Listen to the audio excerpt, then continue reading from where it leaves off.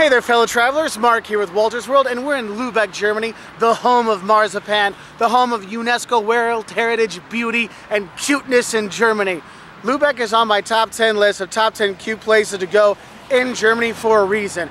And today what we have for you are 10 things you should see and do when you come here to Lubeck. But anyway, the first thing you should see is, you see the Holstentor behind me, the, Holst the Holstein Tower, sorry, bridge, yeah, the tower.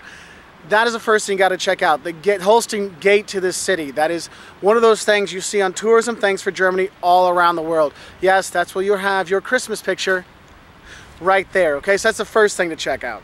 Now, the second thing you should do is when you walk around, what you need to know is you, it, it is a UNESCO World Heritage Old Town, the Altstadt. And what happens is if you're walking in, you see the road that's going in behind me, that's like modern all you have to do is go one block either direction once you get up there and you're going to see that old world Germany that you love with the architecture and the statues and the way the buildings are made and all kinds of cool stuff. It's all inside. So go and explore UNESCO World Heritage with the spires and the churches, and I'll get into these things, but the architecture of the old town is just to die for. It is so beautiful. So that's the second thing you do. So first, hey, you come in, see the tower. Second, just wander the streets and take on how beautiful it is. The third thing you're gonna go do when you go here is you're gonna see this really, really huge church. Now you're gonna see lots of spires, but you're gonna see one big one. I don't know if you can see it back there. That's the Marienkirche, the Marian Church. That's the third largest church in Germany yes, it was kind of destroyed a bit during the Second World War, and actually one of the bells fell and shattered on the ground, and they left it there for kind of a memorial for the people to remember the war and all these kind of things and the atrocities that happened.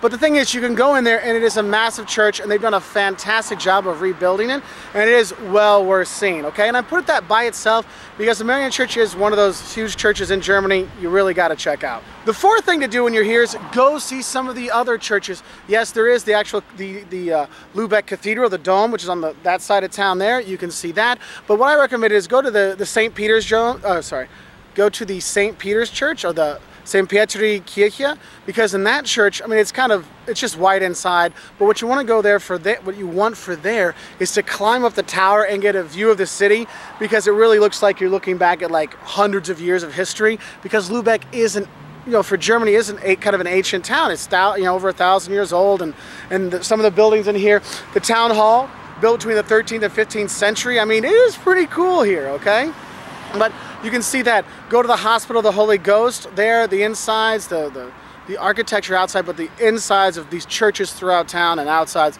are just fantastic. And that kind of goes into the number two of wandering the city and seeing these things. Now, the fifth thing you should do is probably go see the house of Lubeck's most famous resident ever, Willy Brandt. He was the chancellor here in West West Germany. He was from here. He helped kind of bring about a kind of closer connection between the East and West. And without him, we probably wouldn't have had 1989 when the wall fell and all these kind of things. Really important person in German history or recent German history. And he grew up here. So you can go and see his house and get a better appreciation of some of the historical figures in recent German times, okay? Now the sixth thing you have to do is, hey, you know what? Lubeck is famous for marzipan. It's a candy made out of almonds. It is really something special from here, okay?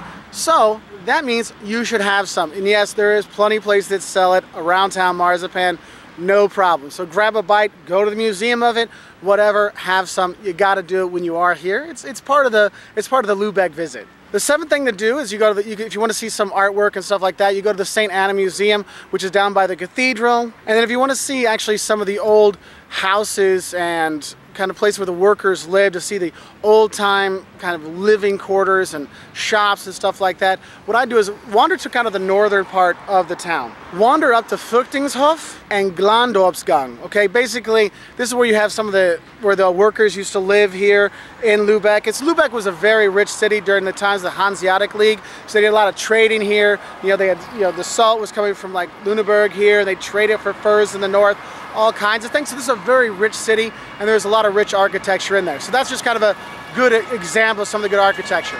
Now the ninth thing to do when you're here is you want to see the old Rathaus. Just go to the square there. Their town hall, Rathaus, was built between like the 12th and 15th century, and you go there and you're like, wow. I mean, even for this town, they look old. It's kind of a cool place to go. Go eat the Ratskeller, a nice little thing. There's also a little Rats, you know, a Rathaus cafe that has cheap German food there. Nice little place to check out. Also very beautiful at Christmas time. And that's one of the things. If you're in Hamburg and you want old Germany, they don't have that in Hamburg. You come to Lubeck, you get that really Christmas Weihnacht spirit when you do come here because it gets so done up so well and it is such a beautiful town. But going to the town hall square, the Rathaus and the Rathausplatz, there is just really kind of a cool thing to do. Just to see the architecture, just like, wow, that is really cool. Now, the 10th thing you should do is if you got kids or if you don't have kids or you're just young at heart, you can go to the Puppet Museum or the Theater Figuren Museum Theater Figure Museum so you can see puppets from around the world. It's kind of a cool thing to check out. If you have kids, it's well worth it. I just spent about an hour there enjoying it. So it was well worth checking out. Seen like, oh, that's what the puppets were like in Africa and Asia and here in Germany. So it is kind of neat there. And then I guess an extra number 11 for you if you want to go to the beach when you are here. Travemünde is very close by. You can grab a bus to head up there and you can get to the beaches and all kinds of stuff. Now, some of the basic stuff you should know, like I said, Lubeck's about 45 minutes on the Regional Express from Hamburg. Also, it's on the train that goes from Copenhagen to Hamburg, so you could drop, drop off here before you head out to Copenhagen, or if you're coming from Copenhagen, you can stop here and get to Hamburg. And you can get the Schleswig-Holstein ticket, so if you have you know five people, it's 40 euros, you can travel as much as you want. So we have a group here today, we bought four of those tickets, so we all could come back and forth no problem, okay? Now, I won't lie to you, Lubeck is one of my cutest favorite little places to come see in Germany. It's not that tiny, it's like 200,000 people, but it is still well worth visiting, especially if you're in Hamburg and you need like your little German town fix. Anyway, if you want to learn more about coming to Germany, check us out on our website at woltersworld.com. We're also on Twitter and Facebook, and we really appreciate all of our likes and subscriptions and subscribers and everything. And we just want to say Dankeschön to you all and have a great time here in Lubeck. If you have more stuff to see and do, please put it in the comment section below so the people that watch this can find more things to do when they do come to this beautiful, cute little bigger little town city thingy, okay? All right, well, I'm off. I'll see you later. Cheers from Lubeck.